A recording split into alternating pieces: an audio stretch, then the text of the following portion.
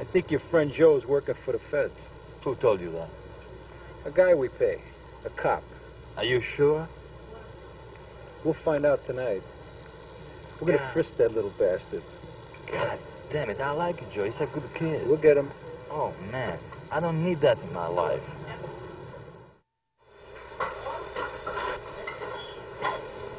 There you go, pal. Say, where's your extinguishers?